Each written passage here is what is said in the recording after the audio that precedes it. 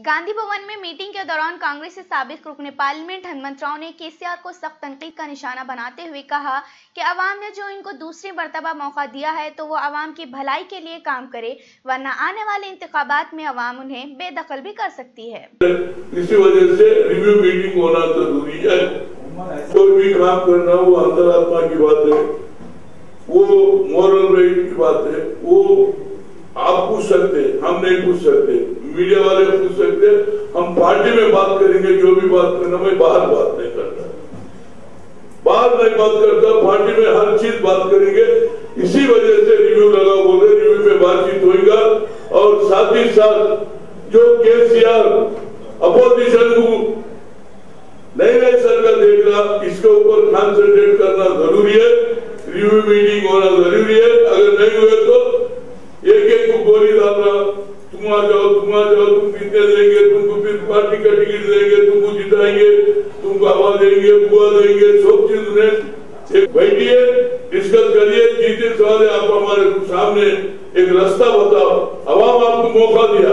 आप अवाम को मौका दिया तो कांग्रेस को ज़िंदा करने का कांग्रेस को आगे बढ़ाने का काम एमएलए को फ़र्ज़ बनता।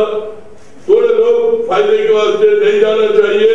अगर ऐसी होगा तो रिव्यू नहीं होगा तो हर एक आदमी अपना अपना वर्कर भी पूछ रहे हमको क्या ना क्या हो रहा? तुम रिव्यू क्यों नहीं हो रहा? हमको पूछ रहे तो इसी वजह से रिव्यू होना ज़रूरी है और केसीआर को बराबर आने वाले ये लोकल बॉडी इलेक्शन में बराबर थर्टी फोर हमारा रिजर्वेशन कांग्रेस की सरकार दी थी।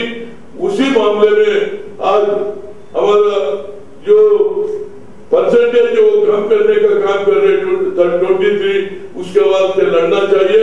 हर पॉलिटिकल पार्टी वाले हारे साथ ही साथ अपन भी कांग्रेस पार्टी वाले आगे रहना चाहिए, लड़ना चाहिए।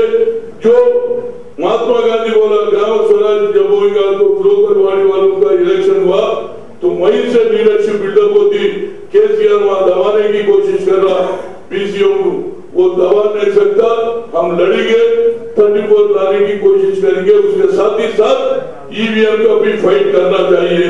ईवीएम में इलेक्शन में बोल हुआ कम, मगर उसका रिज़ल्ट ज़्यादा बता रहा। ये कहा का गलती है?